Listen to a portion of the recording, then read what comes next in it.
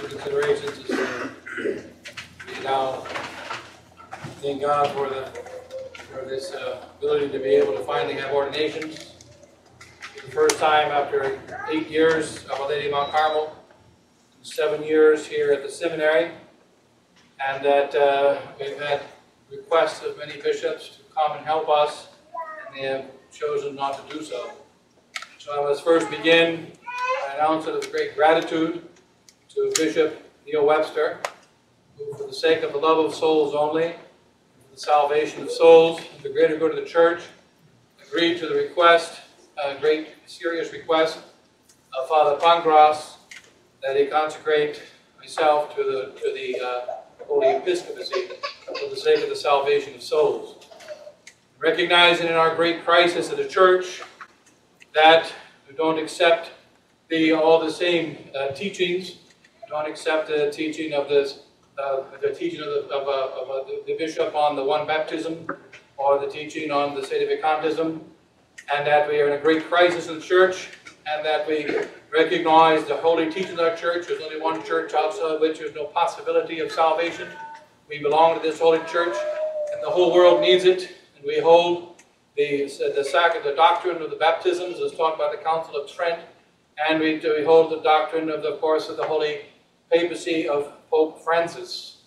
And uh, Bishop Webster still agreed to consecrate, knowing these differences because of the salvation of souls. And very greatly grateful to the uh, love of souls administered, uh, shown by Bishop Webster, and that uh, we'll pray for the remainder of my days and for him in each of the masses that we celebrate from now until I die. Also, we recognize that it is, we are here for the church. We are here for the church. We are here for the salvation of souls. We are here to see that go out and teach every nation to baptize them in the name of the Father and the Son and the Holy Ghost. And that there, there is necessary that the whole world receive the sacraments of our Holy Church. The whole world receives the faith. The whole world receives our Lord Jesus Christ. There is no other answer. And that it is not enough to say that I believe the Holy Faith. We must spread that Holy Faith. Like Father Hannafin, our old pastor, used to say here, in this little chapel, which has been here since 1973, one of the early chapels of tradition. Don't keep the faith, spread it. And as Catholics, we are required to spread the faith, and that we are here to spread the faith. One of the great tragedies of the last uh, 50, the 20 years, especially, and the 50 years since Vatican II in general, and then 20 years in, in, since and, and, the battlefield of tradition, and then the majority of traditional Catholics who are holding the Holy Roman Catholic faith are satisfied to hold it themselves. We are made a man, a priest, a man taken amongst men, ordained to those things that appertain to God. And it is our duty to bring our holy faith to every soul. There is no possibility of going to heaven. There is no possibility of happiness. There is no possibility of peace in inside of this world without the holy Roman Catholic faith inside of every heart. And it is the duty of the priest of God, and especially of the bishop, to spread this faith everywhere. And also remember that we protect our holy church, fight for a holy church. And also it has been in so many years now, we know we had a long ceremony today, longer actually than even usual, because we had many ordinations. These, Many of these ordinations would have happened over a period of years, and that because uh, our young men have been here without the knowledge that they were going to have a bishop, without the certitude, confidence only in the Blessed Virgin Mary. And many, many blockages and many, many attempts to shut down our seminary has happened. We put our seminary in the hands of our Blessed Virgin Mary, the seminary in the hands of Our Lady, and that uh, we have complete confidence in her, and that we make sure that all things are done according to the way of our Holy Mother the Church, even going so far that the bishop, uh, and, and after repeating the essential parts of the ceremony afterwards, so that so that we uh, have the the, the, the repetition of the, the the matter and form of the sacrament to make sure that all things are well. That we are here in a great battle of the church, and we must spread the holy faith and spread the true sacraments with that faith. we cannot simply just have a, a faith, but we must spread this faith with all our hearts. And so in any case, you know, uh, thank God for the grace of being able to be allowed to continue in the seminary. And we thank God also for Father Hannafin, the founder of this chapel here, who, uh, when he founded it, he used to say that he knew that he would die. He knew that he would not be able to go on forever. And he knew that the only way in which the faith would be continued is by the priesthood and the continuation of priests. And therefore he saw to it that young men were able to go to the seminary, and that there must be seminaries for the propagation of the true faith. And this seminary is uh, by the grace of God propagating that true holy faith. And we pray for many vocations. We pray for many souls to come and join us in this battle. And now we must recognize that we have now entered into a phase of persecution of the church. We're now in a phase of persecution of the church, and that is now becoming more and more illegal every day to be a Catholic. Becoming more and more illegal to know, love, and serve God. Becoming more and more illegal to pray to Him and to worship Him. And therefore it is more necessary to send priests out into the battlefield to visit house to house and to bring the faith to every soul. And that is the purpose of the seminary. Because the church is not is one, holy, Catholic, and apostolic. And we pray, we pray for this apostolic nature of the church to continue until the ending of times.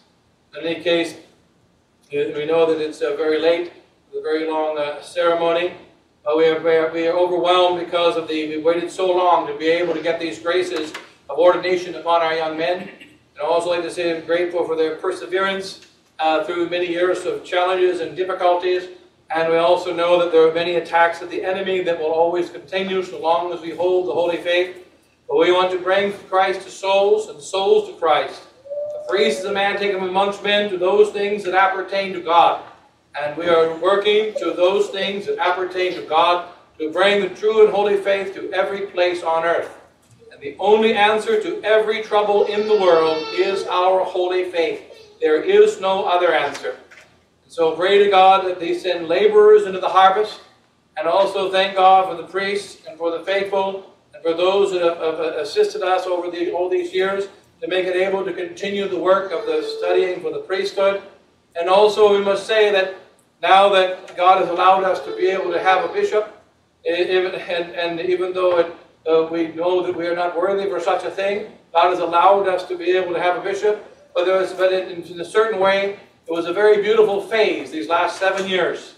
Have a seminary for seven years in which we were mocked and despised by so many because we had not a bishop and not a means to continue the priesthood.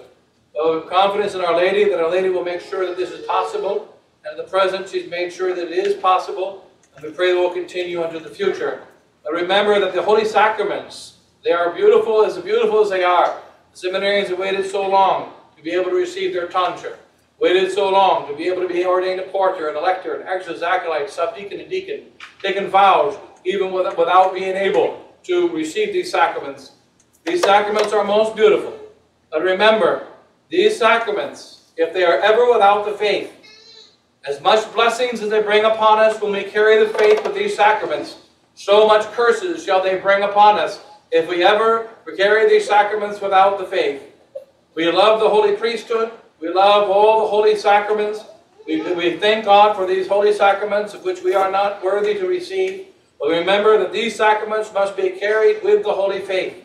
And let us ask the grace of God that we persevere in this holy faith and also have a special gratitude to the bishop that made it possible for the Catholic sacraments and Catholic faith to continue at the end of the 20th century, fighting for it throughout the whole world more than any other.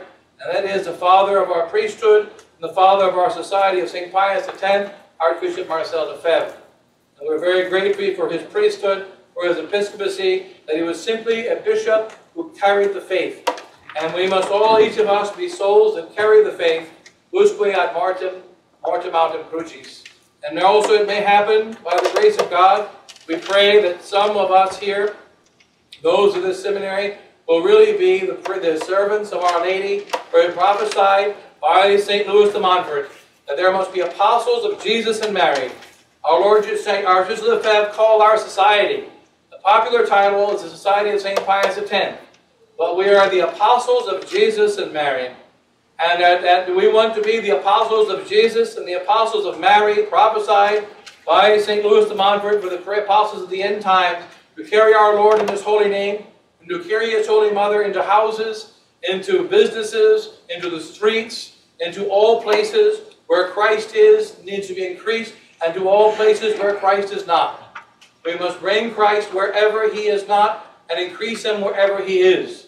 We are here only to carry Christ. We must be the apostles of Jesus and Mary. So I ask the grace to be able to remain faithful, apostles of Jesus and Mary, which is not possible without the prayers of the faithful, not possible without the love of the Blessed Sacrament, not possible without the love of the Blessed Virgin Mary, the love of the Holy Rosary that preserves us. So in any case, we, we, uh, we have our young men to be able to be priests of God, who will be faithful through the holy faith we believe these truths and all the truths Holy Mother Church teaches, because thou, God, hast revealed them, who canst neither deceive nor be deceived. And this is the foundation of our apostolic work. It is the foundation of our teaching in the seminary, and let it be the foundation of all things that we do. So in any case, God bless you all. And, uh, and please pray for us in the seminary.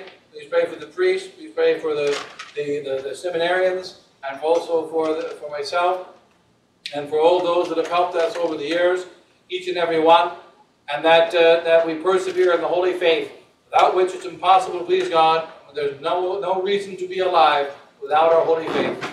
Let's thank God for that faith and keep it deep in our hearts and never let it pass from us. Those thank you all then. In the name of the Father, and the Son, and the Holy Ghost. Amen.